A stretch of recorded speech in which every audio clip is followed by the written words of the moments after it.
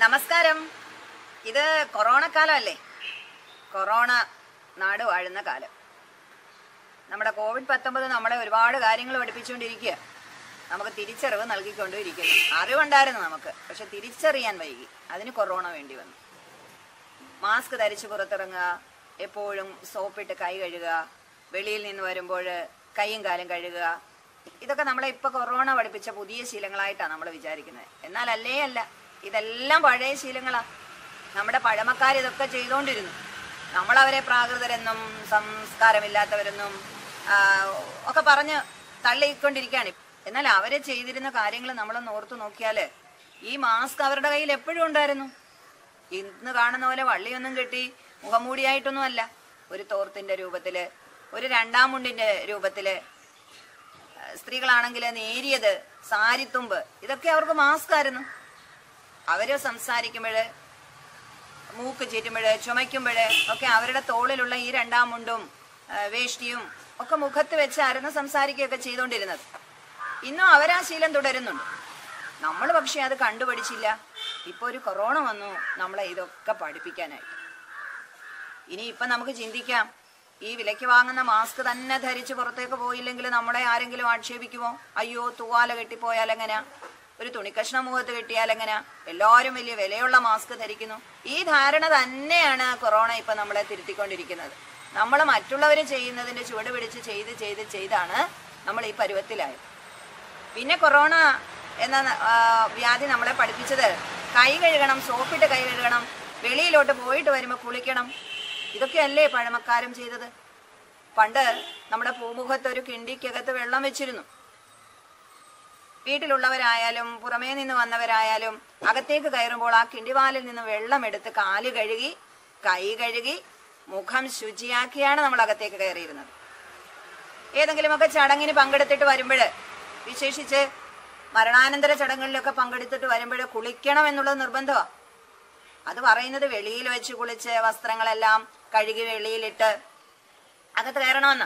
നമ്മളതൊക്കെ അനാചാരങ്ങളായിട്ടാണ് ഇന്നത്തെ തലമുറ അതിനെയൊക്കെ കാണുന്നത്. പക്ഷെ അതിനുള്ളിലെ തത്വം തിരിച്ചറിയാൻ നമുക്ക് കൊറോണ വേണ്ടി വന്നു. എന്തായിരിക്കാം അന്ന് പഴമക്കാർ അങ്ങനെ പറഞ്ഞത്?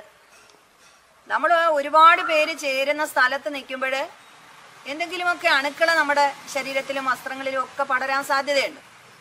അപ്പൊ അവരത് മുൻകൂട്ടി കണ്ടിട്ടാണ് കുളിച്ചിട്ടകത്ത് കയറണം. അന്നൊക്കെ കുളിമുറി വെളിയില്ല ഇന്ന് നമുക്ക് അതിനൊട്ട് പറ്റുന്നുമില്ല. കാര്യം അകത്ത് കയറിയാലേ കുളി നടക്കത്തുള്ളൂ.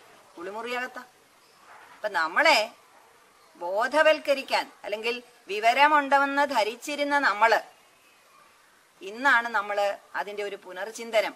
ഇതല്ലായിരുന്നു. പഴമകളൊക്കെ നല്ലതായിരുന്നു. എല്ലാം നമ്മളങ്ങ് മോശമാണെന്ന് ധരിക്കരുത് എന്നൊക്കെ നമ്മളെ പഠിപ്പിക്കുകയാണ് ഈ കോവിഡ് പത്തൊമ്പത്. പിന്നെ നമ്മൾ ഓർക്കുകയാണ് ചെരുപ്പ്. ഇപ്പം പെരയ്ക്കകമെല്ലാം തണുപ്പാണ്. ആർക്കും തണുപ്പത്ത് ചെരുപ്പിടാതെ നടക്കാൻ പറ്റത്തില്ല. പണ്ട് തളിച്ച സ്ഥലമായിരുന്നു തറയോടിട്ട പ്രതലമായിരുന്നു. അതൊക്കെ നമ്മുടെ ശരീരത്തിനും കാലിനുമൊക്കെ വളരെ അനുയോജ്യമായിരുന്നു. എന്നാൽ ഇന്നതല്ല. ടൈലും ആധുനിക സൗകര്യങ്ങളോട് കൂടിയ തറയായപ്പോഴെല്ലാവർക്കും കാലിന് വേദനയാണ്. അപ്പൊ ചെരുപ്പ് അകത്തിടുന്നു. ഈ അകത്തിടുന്ന ചെരുപ്പ് തന്നെ നമ്മൾ പെട്ടെന്ന് എടുത്ത് പുറത്തിട്ടോണ്ടും പോകും. എല്ലാവരും വളരെ ശ്രദ്ധയോടൊന്നും ചെയ്യാറില്ല. പിന്നെ പുറത്തു നിന്ന് വരുന്ന കുട്ടികളോ പറയുകയേ വേണ്ട. ഷൂ ആയാലും ചെരുപ്പായാലും അലക്ഷ്യമായിട്ടാണ് അവർ പെരയ്ക്കകത്തോട്ട് ഇതും കൊണ്ട് കയറുന്നത് അത് എവിടോട്ടെങ്കിലും ഒറ്റ വലിച്ചെറിയലാണ് അപ്പോൾ നമ്മൾ അറിയുന്നില്ല നമ്മൾ പുറത്തുനിന്ന് കൊണ്ടുവന്ന എന്തെല്ലാം അണുക്കളെയാണ് നമ്മൾ ഈ പെരയ്ക്കകത്തോട്ട് കയറ്റിയത്. ഇപ്പൊ നമ്മൾ പറയുന്നു ചെരുപ്പ് പുറത്തു വെക്കൂ. ഇതൊക്കെ നമുക്ക് അറിവുണ്ടായിരുന്ന നമുക്ക് തിരിച്ചറിവ് തരാൻ നമ്മുടെ കൊറോണ വേണ്ടി വന്നു.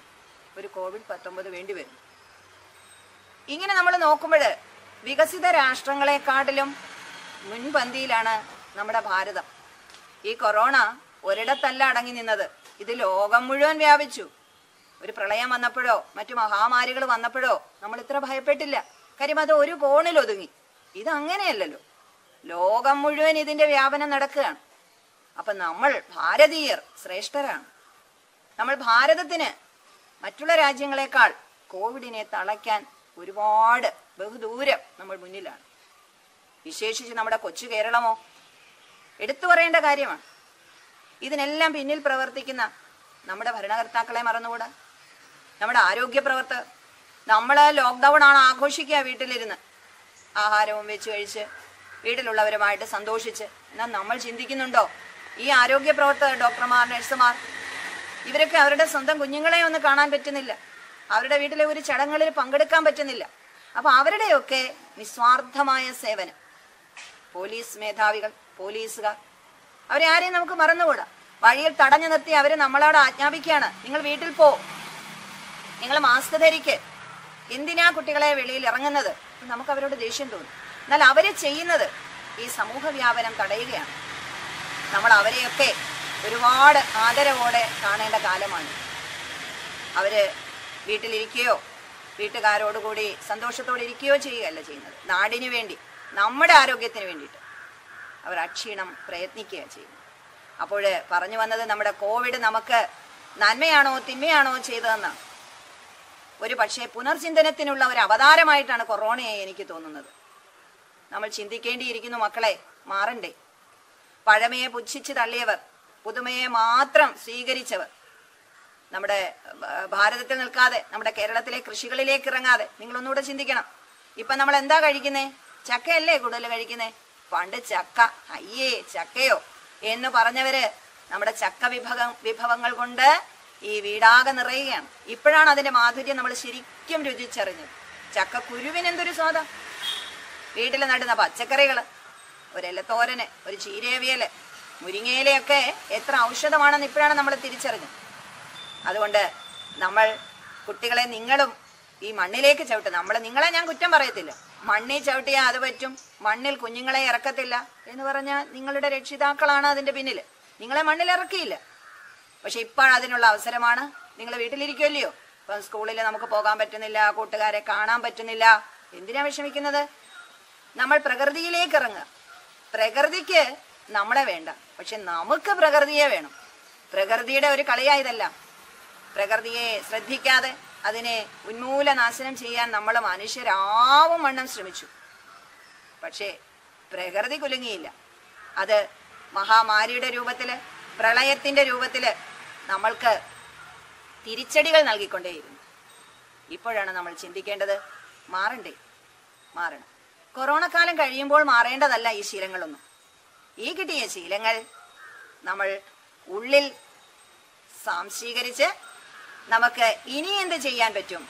അതിജീവിച്ച നമ്മൾ നമ്മൾ ആരോഗ്യമാണ് നമ്മുടെ ശരീരത്തെയാണ് നമ്മൾ ശ്രദ്ധിക്കേണ്ടത്. നമുക്ക് ആരോഗ്യമുണ്ടെങ്കിൽ ഒരു വൈറസ് നമ്മുടെ ശരീരത്തിലേക്ക് വരത്തില്ല. അപ്പോൾ ആരോഗ്യം വേണമെങ്കിൽ നിങ്ങൾ ഈ ലോക്ക്ഡൗൺ കാലത്തിരുന്ന് തനതായ കളികളിൽ ഏർപ്പെടുക. നമ്മൾ പണ്ട് കാലത്ത് കളിച്ച എത്രയോ കളികളുണ്ട്. നിങ്ങൾ പബ്ജി കളിച്ച് സമയം കളയാതെ കായികമായ ആരോഗ്യം കിട്ടുന്ന കളികളിലേക്ക് ഏർപ്പെടുക. കൃഷികളിൽ ഏർപ്പെടുക.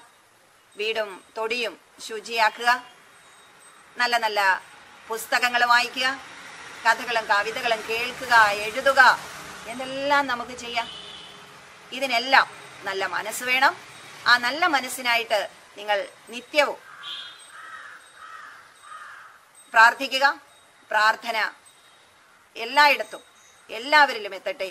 ലോക സമസ്ത സുഖിനോ